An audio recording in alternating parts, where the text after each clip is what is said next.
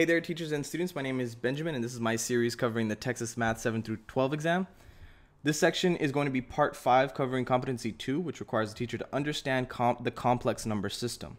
All right, so this video is going to be called Powers of Complex Numbers. And one of the great things about complex numbers is, well, when they're written in polar form, they're really easy to simplify when you raise them to a exponent.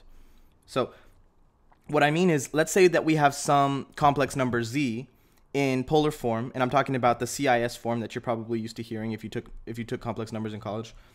Z is equal to R cosine theta plus I sine theta.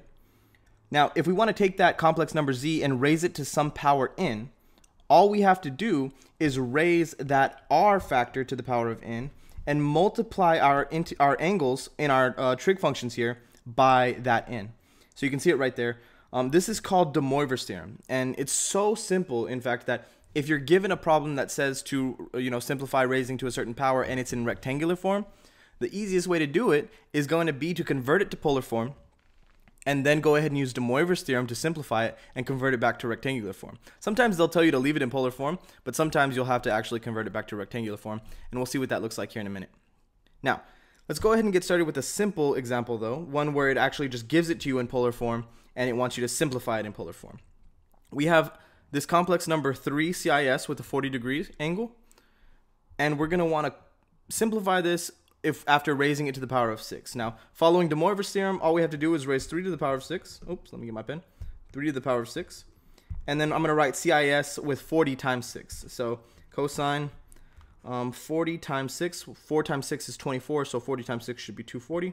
240 degrees. Plus I sine 240 degrees. Don't forget my parentheses there.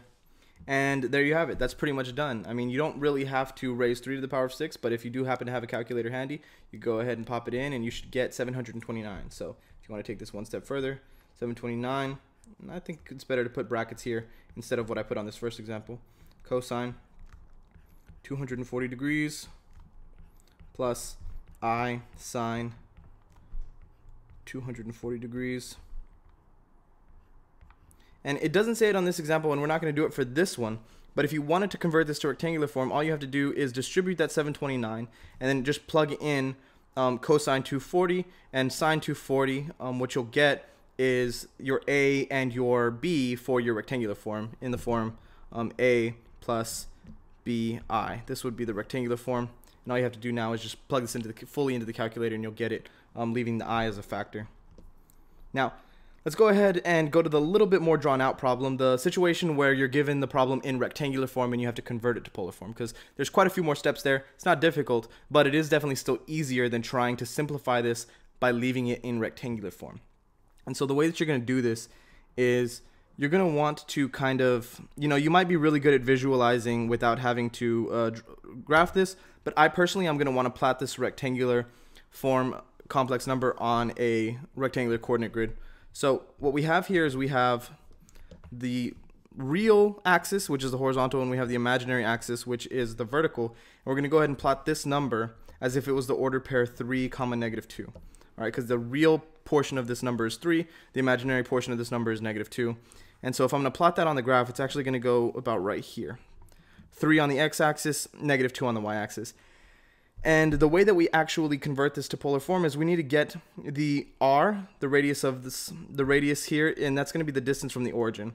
And since we have, you know, this rectangular graph here, it's pretty easy because we just need the distance formula.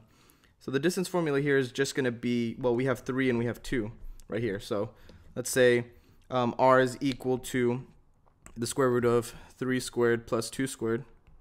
That's going to be equal to 9 plus 4 which is equal to the square root of 13. That's going to be our r. All right, so if we're looking for polar form, which just as a reminder, polar form is going to be z is equal to r, and then cis with whatever uh, angle theta, cosine theta plus i sine theta. The way that you get that theta, well, that theta is going to be this angle theta right here. All right, and uh, we don't want to deal with this radical, so we want to just deal with these two legs. And because this is a right triangle, we can go ahead and use a little bit of right triangle uh, trigonometry in SOHCAHTOA. I'm going to write that on the screen for you guys to reference. SOHCAHTOA. We don't want to use the hypotenuse, so we're going to stick to tangent because then we can just use the legs. And what TOA stands for in SOHCAHTOA is it's telling you, it's a reminder that tangent theta, the theta we're dealing with here, is going to be equal to the opposite leg over the adjacent leg. And in this case, that's actually, um, well, this is negative 2, so negative 2 over negative 2 over 3. So, that said, what we can do in order to find theta is we can take the inverse tangent of negative 2 over 3, and that should equal theta. All right, so you're going to want a calculator before you pop this in, but what you will get in a calculator is ultimately you'd probably get negative 36, about negative 36 when you plug this into the calculator. We don't want the negative. We want to go uh, counterclockwise on the on the on the graph starting from our positive x-axis. So that's going to take us, if you subtract that 36 from 360, you should actually get something more like 326, 326 degrees. So we're going to say that theta is equal to 326 degrees. And that's what we're going to use as our angle theta in polar form. So z is equal to the square root of 13 times cosine, what did we say? 326.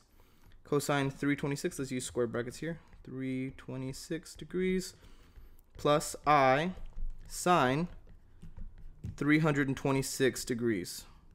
Close it off with square brackets. So that is um, our number 3 minus 2i in polar form. So let's go ahead and now raise this to the power of 6. That is going to be the square root of 13, but I'm going to write this a little bit differently because the square root of 13 to the power of 6 should more easily be written as 13 to the power of 1 half and then to the power of 6 because um, when you have something that's you're taking the square root of that's the same thing as raising it to the 1 half power.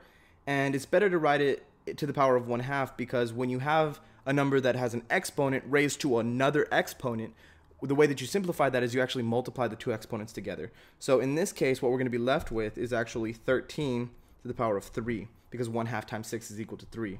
So if we continue to simplify this, we're going to have cosine,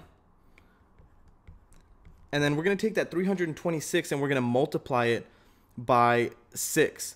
And that's going to give us, let's pop this into the calculator really quick, 326 It's going to give us 1956, so 1956 degrees, which um, if you follow that around the unit circle enough times, um, and you want to end off with a remainder that is less than 360, that's going to leave you ending off with 158 degrees. Okay, 158 degrees. And then plus I sine 158 degrees. And there you have it. If you want to raise 13 to the third power, that's actually just going to be 2197. And we'll have to do that for the next step. Um, so let me go ahead and write this out.